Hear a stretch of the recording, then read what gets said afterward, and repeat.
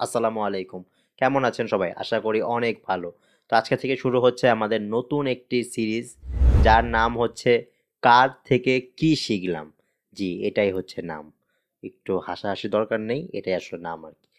কার থেকে কি শিখলাম? তো আমাদের কিন্তু জীবনে, আমাদের আশেপাশে যেসব মানুষগুলো থাকে বা আমরা যাদেরকে দেখি, তাদের কাছ থেকে কিন্তু আমরা অনেক কিছু শিখি। কিন্তু এটা কিন্তু আমরা খুব একটা বেশি খেয়াল করি না দেখে, আমরা মনে রাখতে পারি না যে কার থেকে কি শিখলাম। আমি ভাবলাম যে এখন থেকে যেন আপনারা মনে রাখতে পারেন যে আপনাদের আশেপাশে মানুষের কাছ থেকে আপনারা কী শিখছেন, তা নিয়ে আমি একটি ভিডিও বানাই। যেন আমিও আর কি আমার আশেপাশে মানুষের কাছ থেকে অবজার্ভ করে শিখতে পারি যে আমি তাদের কাছ থেকে কী শিখছি এবং সেটার জন্য আমি আপনাদেরকে বলতে পারি। তো আমাদের প্রথম পর্বে আমি আজকে যার নাম বলব, তিনি হচ্ছে আমার শ্বশুর মানে আমার শ্বশুর আব্বা আর কি। তো তার কাছ থেকে আমি একটি খুবই অসাধারণ একটি জিনিস শিখেছি যা আমি আর কি আপনার সাথে শেয়ার করতে চাই।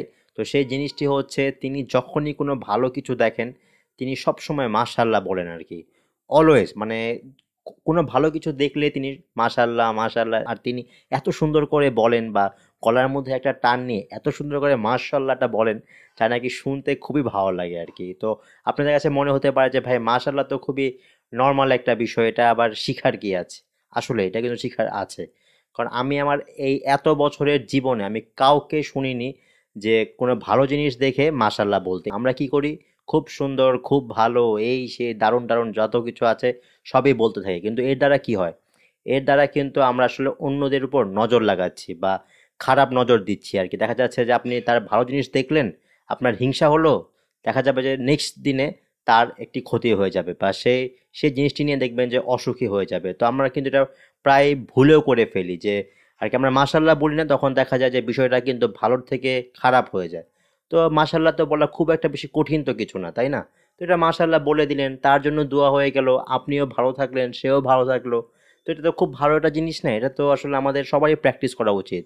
আপনাদের কি মনে হয় প্র্যাকটিস করা কি উচিত না? আমার তো মনে হয় যে অবশ্যই প্র্যাকটিস করা উচিত এবং আমি কিন্তু আসলে এটা মেনে চলি আর কি। এখন থেকে আমি ভালো কিছু দেখলেই কিন্তু wow thank you sorry thank you তো আসবে না নাকি? ওয়াও, খুব সুন্দর, দারুণ বা বা বা এগুলো কিন্তু কিছুই বলি না। এখন কিন্তু আমি কোনো ভালো কিছু দেখলেই মাশাল্লাহ, আমার শ্বশুরের স্টাইলে বললাম আর কি তো তার মতো করে বলার চেষ্টা করি এবং আসলে এটা কিন্তু ভালো জিনিস একটা, খুব ভালো একটা ফিল হয়। আপনি যখন কাউকে দেখে এরকম ভালো কিছু বলবেন, দেখবেন যে আপনার কাছে ভালো লাগবে। আর আমরা তো আমাদের ইসলামিক টিচিংগুলো ভুলে যাচ্ছি। তো ইসলামিক টিচিং যেন আমরা না ভুলি, তো আমাদের কিন্তু এইসব প্র্যাকটিসগুলো অবশ্যই করা উচিত এবং ভালো কিছু দেখলে অবশ্যই আমাদের মাশাল্লাহ বলা উচিত। তো আশা করি আপনারা সবাই এই প্র্যাকটিসটি অবশ্যই করবেন। বলবেন যে মাশাল্লাহ। তো কেমন লাগল আপনাদের কাছে? তো আশা করি যে ভালোই লেগেছে। তো আমি বিশ্বাস করি যে আপনারা এটা অবশ্যই প্র্যাকটিস করবেন এবং এই শিক্ষাটি আপনারা অবশ্যই নেবেন যে, যেটা বললাম আর কি, যে আশেপাশে মানুষের ভালো কিছু দেখলে আপনারা আর কি এখন থেকে মাশাল্লাহ বলার প্র্যাকটিসটি করবেন। তো এই ছিল আমাদের আর কি প্রথম পর্বের প্রথম একটি ভিডিও তো কেমন লাগল আপনারা অবশ্যই আপনাদের ফিডব্যাকটি দিবেন, কারণ ফিডব্যাক না দিলে আমি বুঝব কীভাবে যে আমরা কে সিরিজটি সামনে আরও করব নাকি করব না। তো এই ছিল আমাদের আজকের ভিডিও তো বিদায় নেই, আমাদের আবার দেখা হবে আগামীকাল। সেই পর্যন্ত সবাই ভালো থাকুন, সুস্থ থাকুন, এবং সব থেকে জরুরি নিজের খেয়াল রাখুন। আসসালামু আলাইকুম সবাইকে।